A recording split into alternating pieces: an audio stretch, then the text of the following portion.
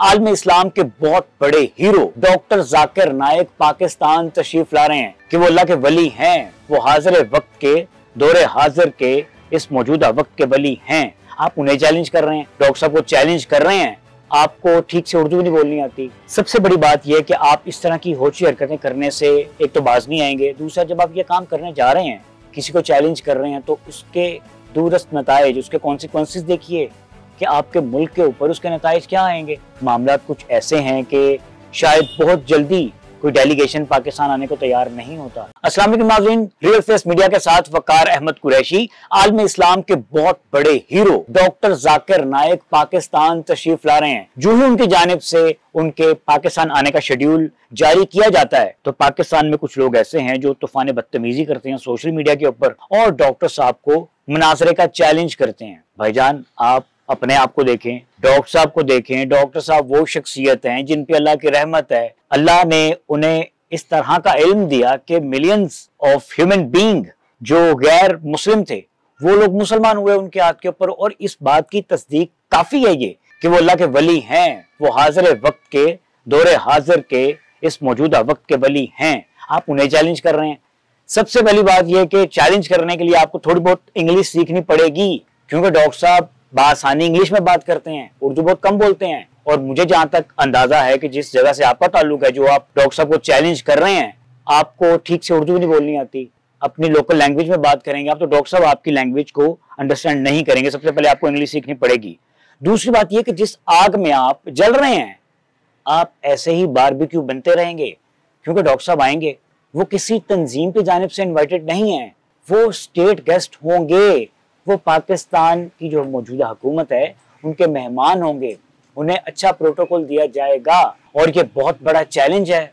पाकिस्तान के लिए, पाकिस्तान की सिक्योरिटी जो एजेंसीज हैं, उनके लिए जो इतना यकीन है, पाकिस्तान के इदारों के ऊपर कि जैसा वो प्रोटोकॉल डॉक्टर साहब को देंगे, वो इनशाला खैरियत से पाकिस्तान आएँगे, दावत का काम करेंगे, तीन बड़े शहरों समेत मुख्तलिफ़ जगहों पर जाएँगे, कराची, इस्लामाबाद, लाहौर में तशरीफ़ लाएँगे लोगों से गुफ्तु करेंगे।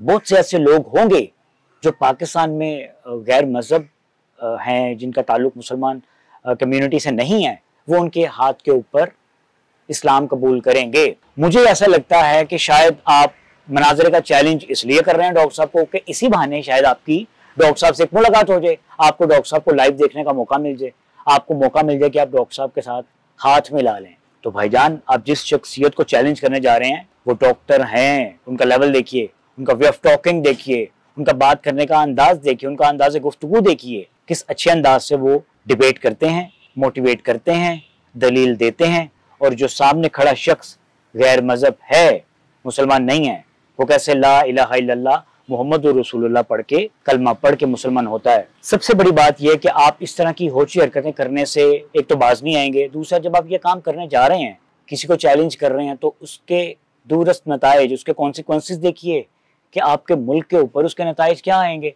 आप खुदा ना खासा डॉक्टर साहब को थ्रेट करते हैं, खुदा ना खासा किसी तरह का।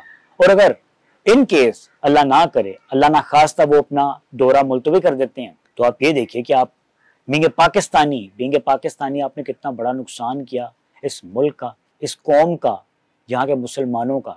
आज की अगर बात करें, मौजूदा हालात की अगर बात करें तो अभी मामला कुछ ऐसे हैं कि शायद बहुत जल्दी कोई डेलीगेशन पाकिस्तान आने को तैयार नहीं होता, जैसे हमारे मौजूदा हालात हैं। लेकिन हमारी अल्हम्दुलिल्लाह पाक आर्मी सिक्योरिटी के इदारे एजेंसीज मिल के उन चैलेंजेस का सामना कर रहे हैं, हल निकाल रहे हैं। और डॉक्टर साहब को भी इल्म है कि पाकिस्तान के ये हालात हैं, लेकिन इन मौजूदा हालात में भी अगर वो पाकिस्तान का विज़िट कर रहे हैं, दौरा कर रहे हैं, आपको खुश होना चाहिए। Being a citizen of Pakistan, आपको खुश होना चाहिए कि भाई इन हालात में भी एक वो शख्स जिसे पूरी दुनिया जानती है, जिन्हें पूरी दुनिया में हर कोई जानता है। साहिब इल्म और जो उनके अगेंस्ट लोग हैं, सब जानते हैं उनको। तो वो शख्स अगर पाकिस्तान का विज़िट कर रहे हैं तो इसमें आपको खुश होना चाहिए कि आपका मुल्क पीसफुल है। अमन पसंद लोग हैं हम। ऑफ़ कोर्स इसमें कोई शक नहीं है, कोई दूसरी राय मौजूद नहीं है, लेकिन हर जगह पे ऐसे लोग मौजूद होते हैं।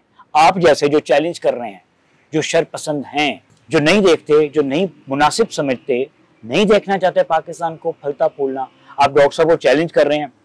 मुझे उम्मीद है कि आपका चैलेंज वो कबूल नहीं करेंगे, क्योंकि आपने तो जिस बात में आके बदतमीजी की, तूफ़ान बदतमीजी की, और आपने चैलेंज कर दिया, लेकिन वो डॉक्टर जाकर नाइक साहब हैं। भाई वो जज्बाती नहीं हैं, वो सब चीज़ों को देखते हैं, परखते हैं ऑब्ज़र्व करते हैं मोनिटर करते हैं। आप जैसे लोग बहुत मिलते हैं उनको रोज़ाना की बुनियाद पर जो उन्हें क्रिटिसाइज़ करते हैं, उन्हें अब्यूज़िव करते हैं, लेकिन उनकी ज़ात को कोई फ़र्क नहीं पड़ता। दिन दुगनी, रात चुगनी तरक्की दे रहा है उनको अल्लाह। तो खुदा का वास्ता अपनी इन हरकतों से बाज आ जाएँ। आपकी इन बदतमीज़ियों से पाकिस्तान का, आलमी इस्लाम का नाम बदनाम होता है। अब अपने आप को मुसलमान कहते हैं तो मुसलमान की डेफिनेशन सीखिए। किससे? डॉक्टर जाकिर नाइक से। नाजरीन, आपके साथ इंशाल्लाह एक नए प्रोग्राम में मुलाकात करेंगे। अपना ख्याल रखिएगा। अल्लाह हाफिज़।